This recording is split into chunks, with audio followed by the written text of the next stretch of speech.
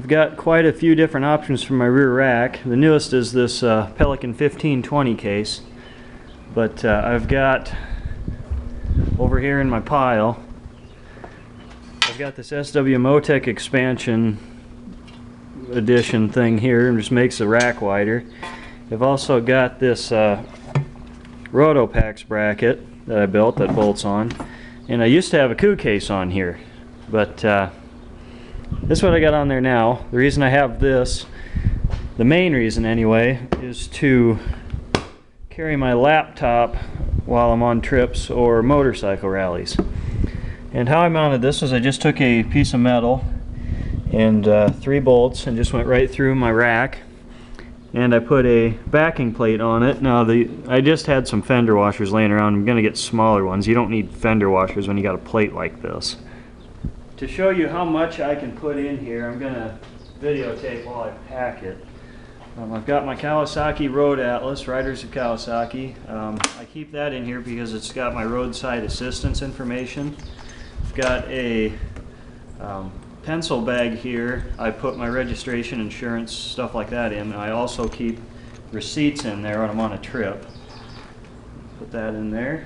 I've got my Gerbing heated gloves and a coil cord to plug in with.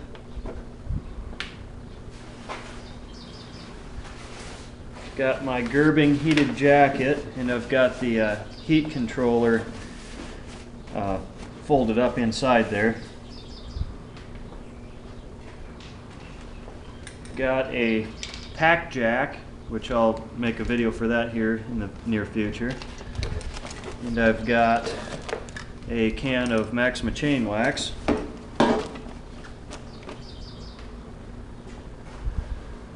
Got a big Icon rain jacket, and it's actually a 3X to fit over top all my stuff.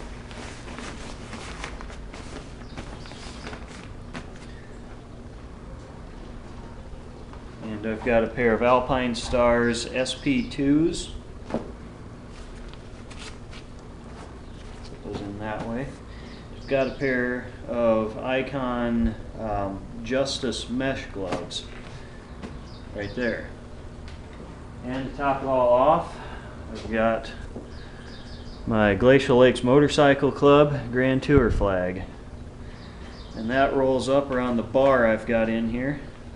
Can actually just close the lid on it and let it hang, take my pictures with, but uh, that goes right in the back.